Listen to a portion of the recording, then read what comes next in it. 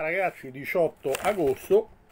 Oggi dopo una lunga fila mi sono andato a fare il mio secondo vaccino. Moderna, mi hanno fatto il Moderna e sinceramente non ho avuto nessun problema né dopo la prima vaccinazione né dopo la seconda nonostante la mia veneranda età. Quindi io sinceramente non lo so se nelle prossime ore mi verrà la febbre, se mi diciamo qualche malessere, non lo so, però mi sento già molto più tranquillo, molto più sicuro perché penso proprio che in ospedale non ci finirò, perché questo dice la scienza. Magari avrò, prenderò il covid pure io in forma lieve, non lo so, ma sicuramente non vado a finire al cimitero. Quindi fate come vi pare, il, la vaccinazione non è obbligatoria, e quindi finché la vaccinazione non è obbligatoria io non vi dirò mai vi dovete vaccinare perché sono scelte personali, io rispetto tutte le scelte. Io ho scelto, mi sono affidato alla statistica, ai numeri, perché io guardo molto ai numeri e i numeri dicono che sostanzialmente adesso ho il 95% delle possibilità in meno di eh, prendere il covid, veramente residuali di finire in ospedale, questa è la storia. Poi, ripeto, fate come vi pare perché siete adulti e siete in grado di decidere finché le cose non sono obbligatorie, non vi posso dire che vi dovete vaccinare.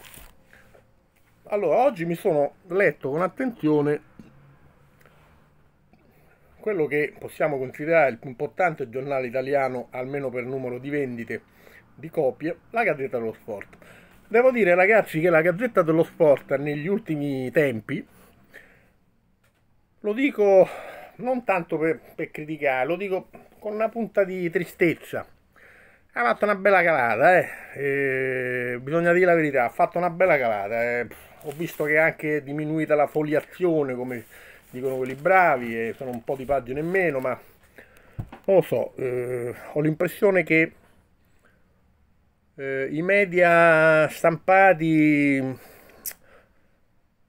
hanno preso troppe legnate negli ultimi anni da, dal web e um, faticano, faticano a reinventarsi perché una volta io mi andavo veramente a cercare gli editoriali della Gazzetta dello Sport di Furio Zara, di Enrica Speroni, cioè gente che veramente hanno scrittori aggiunti proprio al, a un quotidiano sportivo, mm, gente che veramente ti insegna anche a scrivere eh, e a leggere che ti fa venire anche voglia di leggere.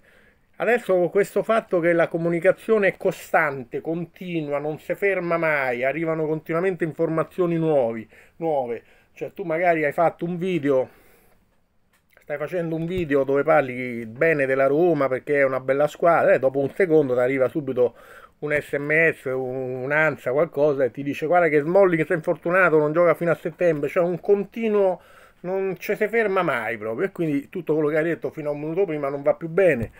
Una volta non era così, le informazioni arrivavano, ma arrivavano, ci mettevano più tempo per arrivare, no? quindi c'era tutto un altro... Oggi eh, il quotidiano esce già morto, già vecchio, le cose che leggi la mattina lì sul giornale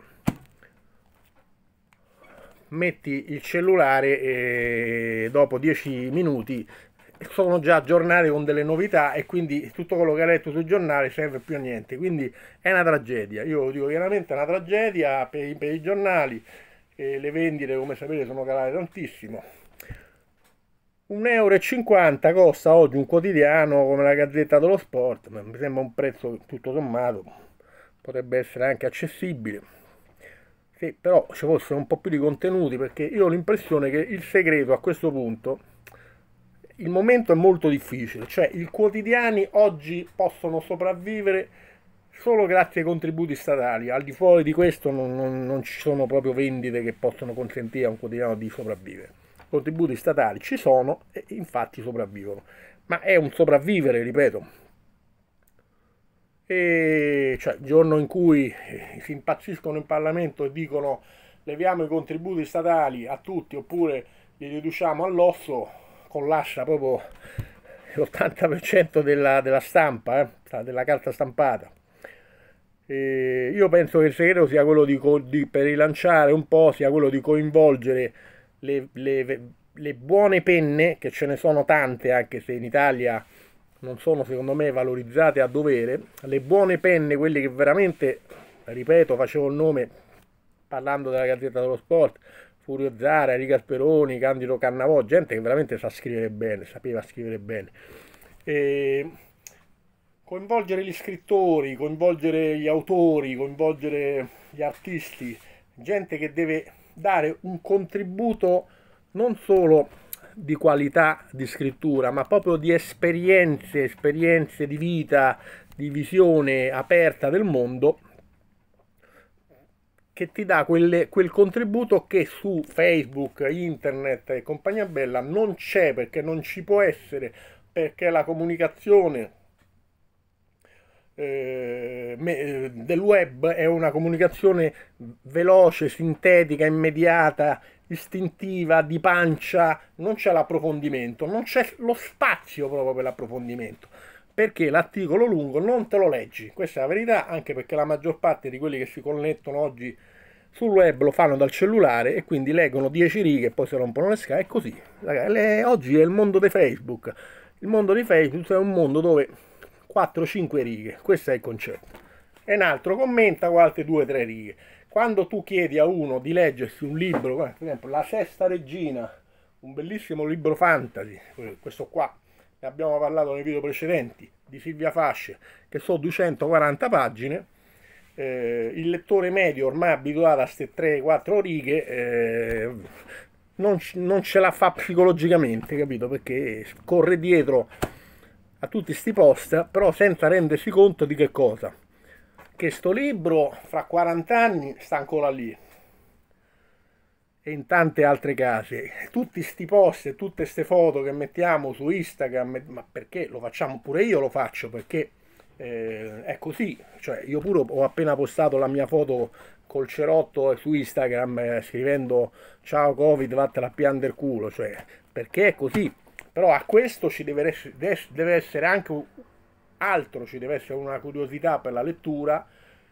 E fatto questo non devi perdere di vista cose molto più importanti di internet come i libri. Io quindi vi dico proprio chiaramente leggete, vedete film, viaggiate, vivete in modo diciamo completo a 360 gradi, non vi mettete col cervello sul cellulare perché vi rincoglionite solo, ve lo, proprio, ve lo dico proprio, non parliamo poi della televisione che praticamente è un dispensatore di cazzate autorizzato perché serve per tenere tranquilla gente che altrimenti darebbe di matto, stai lì, stanno lì tutto il giorno a vedere film e va bene così.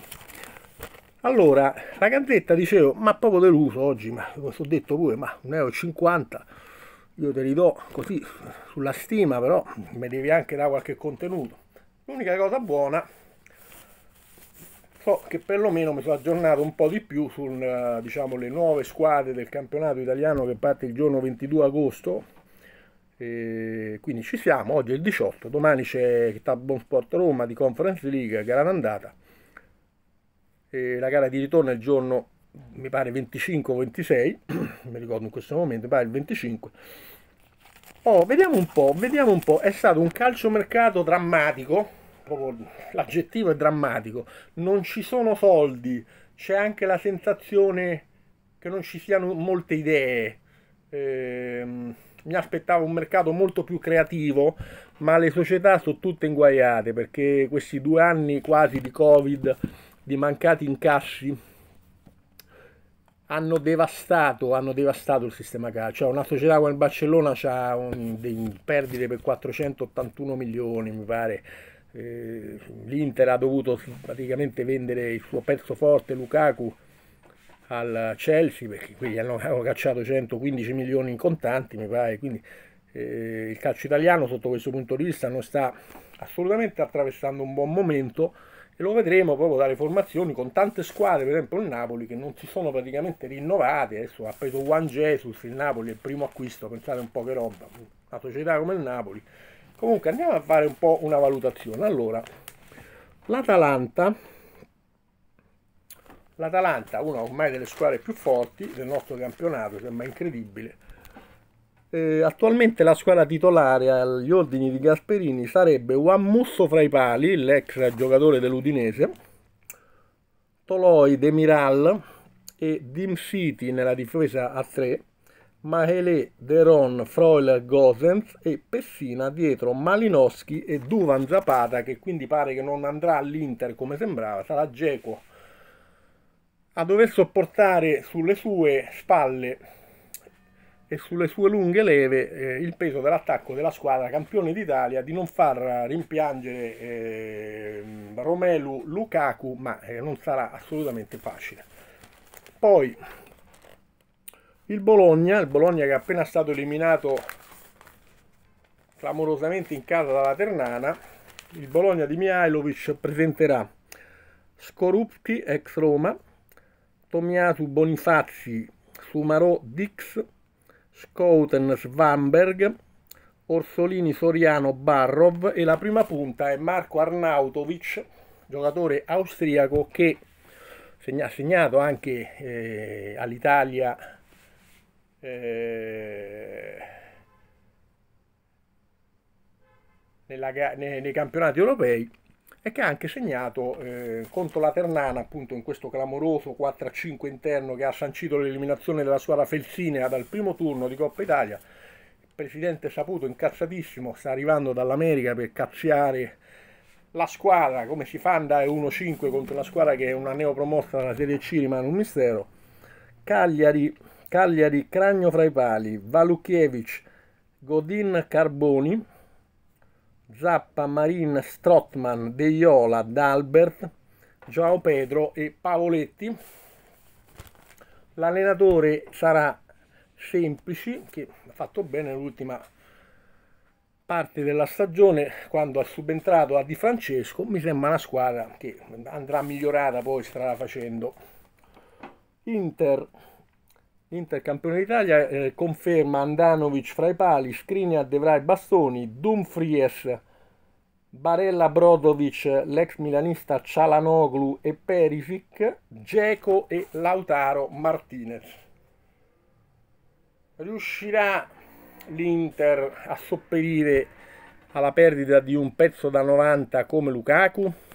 Il problema non sarà solo eh, sostituire Lukaku, tutto sommato Geco anche se ha delle caratteristiche molto diverse ce la potrebbe anche fare. Il vero problema sarà sostituire Hakimi che secondo me tatticamente è stato un giocatore fondamentale nel, nella vittoria dell'ultimo scudetto perché è quello che ha allargato il gioco in sostanza sia in, in, ampiezza che eh, in, lo ha reso più incisivo andando poi anche sul fondo a crossare. Ci sono un paio di partite proprio che l'Inter ha risolto con un'azione sulla fascia di Hakimi che ha messo al centro e Darmian ha bloccato eh, accompagnando la palla in porta. Juventus, allora Cesni, Quadrado, Bonucci, Delict, Alexandro, Bentancur, Locatelli, Rabiot, Chiesa, Dybala, Ronaldo. L'allenatore, come sapete, Allegri, sono contento per Locatelli perché è un giocatore italiano che ha vinto gli europei, ha fatto anche bene, è un giocatore che viene dal Milan, nel Sassuolo è andato abbastanza bene, non benissimo, ma in nazionale invece abbiamo visto un giocatore effettivamente piaciuto tanto. Eh, speriamo, speriamo che possa fare bene, un giocatore che ha anche un fisico importante, la Juve parte, diciamo la verità, con i favori del pronostico. La Lazio di Sarri, Reina, Marusic, Luis Felipe Acerbi e Isai. Milinkovic, Leiva, Luis Alberto, Felipe Anderson, Immobile e Correa. Torna quindi Felipe Anderson. La Lazio sarebbe su Pedro, sul romanista Pedro, ma è una notizia che è in attesa di conferme. Secondo me la Lazio squadra che eh, sappiamo non è che ci abbia avuto tutti questi soldi da spendere, negli anni ha sbagliato a non vendere Milinkovic Savic, perché Milinkovic Savic c'è stato un momento che valeva veramente tanto, mi pare che lo, lo volesse la Juve, credo che dopo qualche anno che lo avevi alla Lazio era il momento di concretizzare, di mettersi un po' di fieno in cascina, diciamo, un po' di legna per l'inverno e ha preso Sarri che tutto sommato aveva bisogno anche di tempo per, uh, Vediamo un po'. Felipe Anderson immobile Correa. Teoricamente potrebbe anche andare bene. Abbiamo però bisogno di tempo Sarri per far capire quelli che sono i suoi.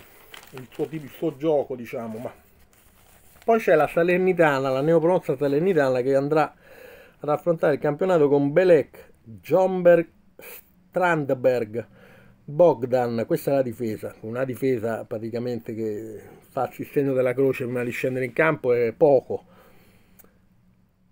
Cecrida, Culibali, Di Tacchio, Obi, Ruggeri, questo è il centrocampo, e davanti Simi del ex Crotone e Bonazzoli ex Sampdoria. Mi ricorda tanto il Crotone questa squadra, cioè una squadra che ha una difesa completamente improponibile per la Serie A e ho l'impressione che il primo anno di Serie A per la Salernitana non finirà molto bene. Spero di sbagliare per gli amici di Salerno. Sassuolo, l'allenatore della Salernitana è Castori, l'allenatore del Sassuolo è Dionisi. Quindi De Zerbi è andato allo Shakhtar di Donetsk e è arrivato Dionisi. Consigli fra i pali, Muldur, Ferrari, Chiriches e Rogerio. In mezzo al campo Obiang, Locatelli. No, non può essere Locatelli, Locatelli qui c'è un errore, è andata alla Juve. Quindi già c'è un grosso errore della, della Gazzetta dello Sport errori imperdonabili, mi metti Locatelli contemporaneamente nella Juve e nel Sassuolo, se già andiamo male. Poi Berardi a destra, Boga a sinistra, Diurici e Caputo, Caputo che tutto sommato, chissà, forse potrà anche partecipare alla spedizione azzurra agli europei, ma eh, Mancini ha puntato con molta decisione, forse troppa, su Ciro Immobile, ma è andata molto bene. Lo Spezia dell'allenatore Tiago Motta, che ricorderete tutti, ex giocatore dell'Inter, affronterà il campionato con Zoet, Nicolau, Erlich, Ristov, Ferrer Maggiore, Kovalenko e Amian, questo è il centrocampo. L'attacco è Verde, Maraz e Colley. Questa è un'altra squadra che io vedo malissimo a leggere la formazione, poi vedremo, l'anno scorso andava molto bene lo Spezia, ma i giocatori mi sembrano piuttosto diversi, ci sono almeno 6 giocatori nuovi, quindi un'impressione non lo so. Torino, Milinkovic Savic fra i pali, che è il fratello del Milinkovic laziale. Izzo Bremer, buongiorno, no, non, non sarà mai buongiorno, un suo parente. Fingo, Mandragora, Luchi Cianzaldi, Sanabria, Piaca e Belotti, prima punta.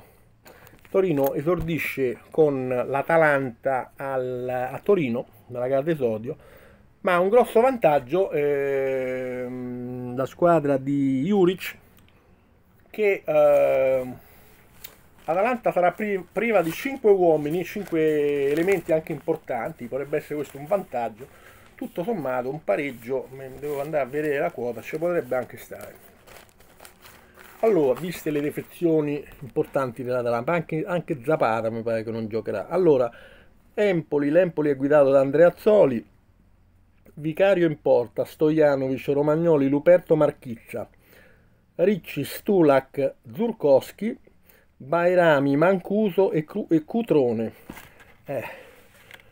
Andreazzoli per un breve periodo anche sulla panchina della Roma, eh, con la quale purtroppo ha perso la finale della Coppa Italia con la Lazio purtroppo e contro la Lazio se ben ricordo era la finale che dava anche un posto in Europa e non lo so, io mi auguro che buon Andreazzoli se inventi qualcosa perché questa squadra la vedo proprio male, comunque vedremo, la neopromossa. L'Empoli è una squadra che da una vita fa questo eh, su e giù, la, eh, Serie A, Serie B, devo bere qualcosa perché non ce la faccio più.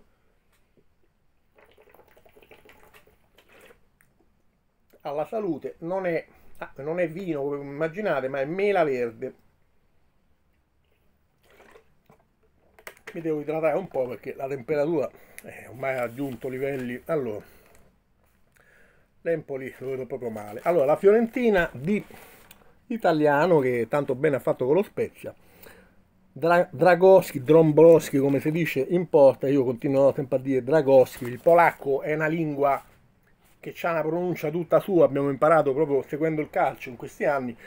Piatek, eh, ve lo ricordate? Piatek, uno che sembrava dovesse spaccare il mondo, sì, abbiamo imparato che si legge Piontek, e qui Dragoschi si legge Drombrowski, ma raga, io vorrei italianizzare un po' questi nomi perché già faccio fatica a pronunciarli in italiano. Lirola a destra, Biraghi a sinistra, Milenkovic, Pezzella sono i due centrali. Bonaventura, Pulgar, Castrovilli, Gonzales, Vlaovic e Sottil. Vlaovic uomo mercato, richiesto da un sacco di squadre. A un certo punto pareva che potesse interessare anche alla Roma. E... Vediamo, vediamo. La Fiorentina la vedremo subito all'esordio allo Stadio Olimpico il 22 agosto e ci faremo subito un'idea. Mi sembra una squadra piuttosto rognosa. Gonzales arriva dallo Stoccarda, Nico Gonzales 23 milioni più 4 di bonus, dovrebbe essere anche buono.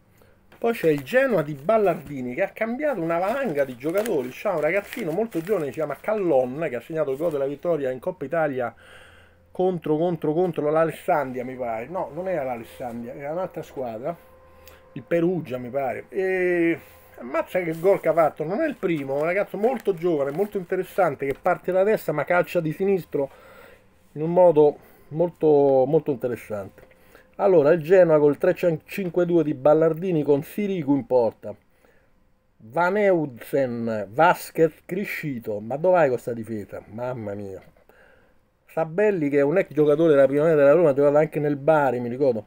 Ci credevo in Sabelli, infatti com comunque vediamo che sta in Serie A, insomma, Genova è anche una città importante.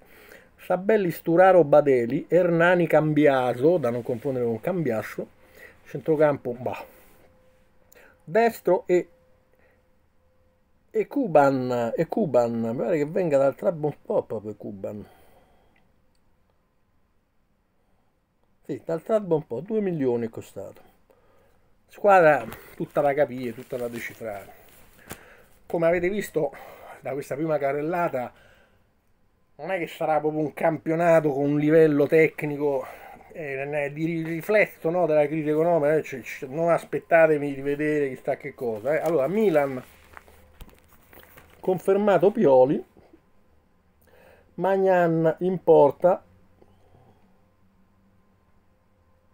preso da Lilla, è costato 13 milioni, Calabria, Chiaer, Tomori, Hernandez, Benacer e Chessy, a destra Selemaker, a sinistra Ante Rebic, Brahim Diaz dietro la prima punta che sarà Giroud in attesa di Ibrahimovic. E poi passeranno molto probabilmente al, al 4-4-2 forse addirittura al 4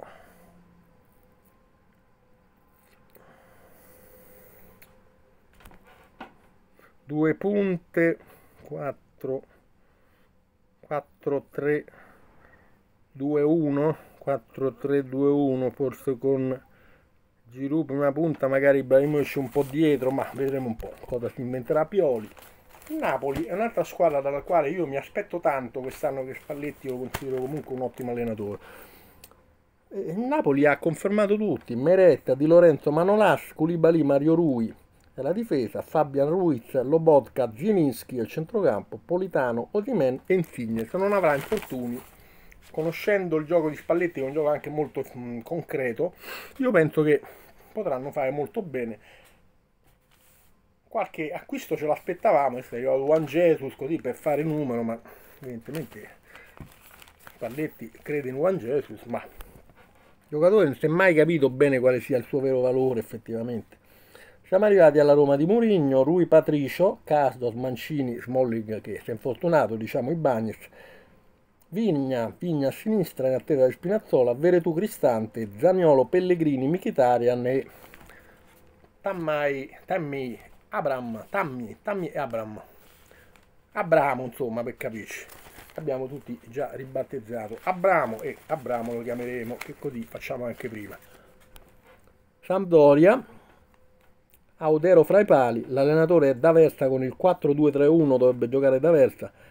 Ex Parma, Beresinski, Yoshida, Colley, Augello con Tosby e Silva a centrocampo, a destra Candreva, a sinistra Damsgaard, Gabbiadini si muoverà dietro la prima punta, l'immarcescibile, l'intramontabile, l'imprendibile e l'imprevedibile Fabio Quagliarella, giocatore che avrebbe meritato tanto tanto di più nella sua carriera, un ottimo giocatore.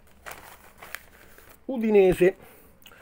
l'Udinese sempre con Gotti, Silvestri in porta, Becao, Nuiting Samir, Molina Wallace, Pereira, Striger è un autentico scioglilingua, legge la formazione udinese, Delofeu, Pussetto e Okaka, insomma ragazzi c'è di meglio, eh, c'è di meglio. Udinese 3-4-2-1 esordirà contro la Juve al Friuli e credo proprio che esordirà con una bella sconfitta. Venezia.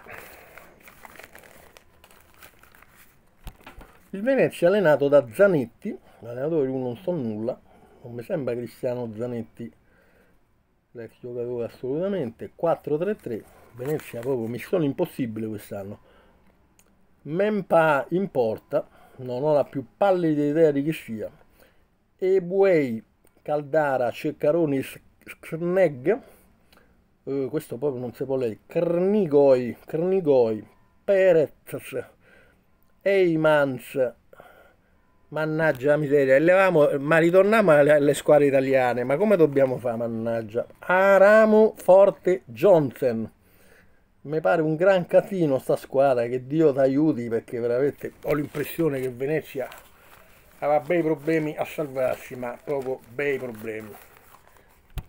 Allora, Verona, Verona allenato da Eusebio Di Francesco, si dà ancora credito a Eusebio Di Francesco, l'anno scorso nel Cagliari non è che stia andando molto bene. Montipò in porta, ex Benevento, Ceccherini, Gunter, Magnani, Faraoni, Tamezze, Veloso, Lazovic, Barak, Zaccagni e Nicola Kalinic. Eh, insomma, non è che mi convinca molto sta squadra, diciamo la verità. Diciamo la verità preso dei giocatori che però non vengono schierati fra i titolari, ha preso Frabotta dalla Juve in prestito, Ilic dalla City pagato 7,5 milioni, Emperer dal Palmeiras, ma non, beh, non li vedo però in uh, squadra titolare, vediamo un po', esempio di Francesco, un allenatore che sta cercando un rilancio, dopo qualche anno sicuramente non all'altezza di quello che aveva, era riuscito a fare, non si sa quasi come, con la Roma portandola in semifinale di Champions. Quindi queste saranno le 20 squadre impegnate nel tentativo insomma, di conquistare lo scudetto, qualificarsi nelle coppe, salvarsi soprattutto e eh, mantenere saldo naturalmente il rapporto con i propri tifosi. Credo che la Juve, mi pare che abbia qualcosa in più delle altre quest'anno, ma è tutto, è, tutto, è tutto, da vedere, è tutto da capire perché è chiaro che con il calciomercato eh, moderno, magari a gennaio qualche squadra con 3-4 giocatori forti, bisogna vedere che cosa succede. La Roma è la grande outsider, è chiaro che è la grande outsider. Attenzione anche al Napoli che è una squadra che, ripeto, secondo me è un buon allenatore e da tanti anni giocano sempre insieme questi giocatori avere Koulibaly e Manolassi nella centrale di difesa secondo me eh, non è poco e anche Osimen è un giocatore che considero molto perché anche giovane, è un giocatore che mi sembra atleticamente veramente una bestia. E poi niente, le milanesi, l'Atalanta, sono queste le squadre che gran sorpresone sarebbe la Lazio se potesse metabolizzare in fretta il uh, gioco molto fatto sul possesso palla, il gioco di prima di Sarri, ma il gioco di Sarri, vi ripeto, ha bisogno di perlomeno di 7-8 partite per essere metabolizzato, l'abbiamo visto un po' dappertutto dove è andato, poi una volta che entra nelle corde, nelle teste dei giocatori, diventa un gioco altamente spettacolare, come si è visto anche a Napoli. Il Napoli di Sarri è una squadra che in quel momento giocava uno dei calcio, un, un calcio tra i più belli d'Europa, eh, non ho nessun problema a dirlo, è mancato qualche, quel qualcosina a livello tecnico, quel giocatore che poi fa la differenza e una squadra la porta avanti poi anche nelle coppe, magari fa vincere anche lo scudetto. Quel tipo di giocatore lì al Napoli di Sarri, indubbiamente, e anche al Napoli in generale degli ultimi anni, è una squadra che spesso è stata ai vertici ma poi non è riuscita a vincere quello che eh, si cercava veramente di vincere. Allora, ho finito, buon campionato a tutti, spero che la panoramica insomma vi abbia un po' chiarito com'è la situazione e ci sentiamo nei prossimi giorni. Arrivederci.